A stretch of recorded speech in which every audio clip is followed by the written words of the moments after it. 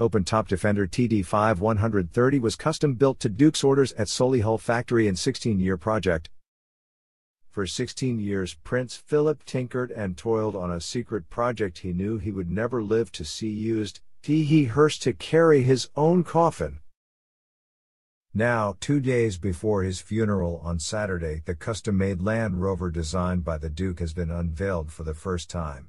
His work on the bespoke Land Rover Defender TD5 130 chassis cab begun in 2003, the year he turned 82, and was finished aged 98 in 2019. The open top rear has been modified to fit his coffin and equipped with special rubber grips on silver pins, known as the stops, to keep it secure while it makes the journey through Windsor to St. George's Chapel.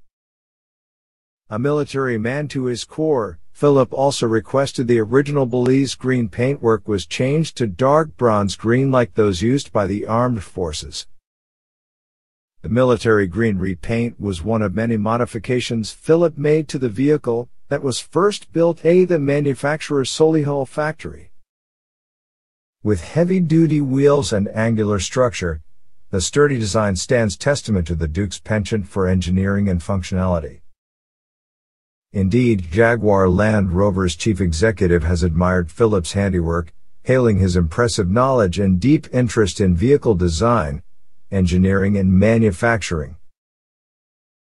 Land Rover has maintained the vehicle since it was built, and has prepared it for the funeral in collaboration with the royal household.